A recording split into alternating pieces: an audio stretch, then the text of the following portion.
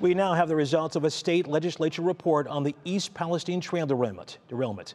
One headline it contains a page of recommendations to make Ohio's railways safer. Neil Fischer has that story.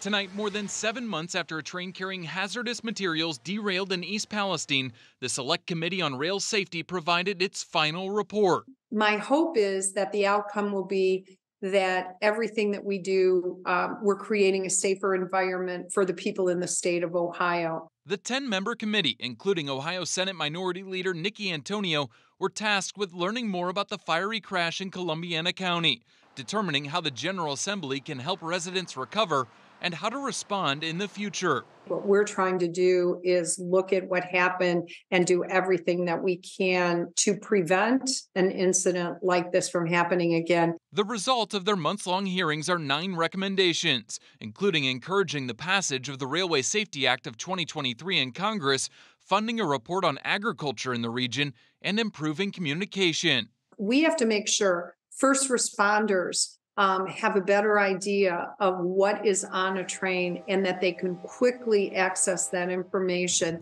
That's part of our recommendations. The next step for safer railroads would be the passage of the Railway Safety Act of 2023.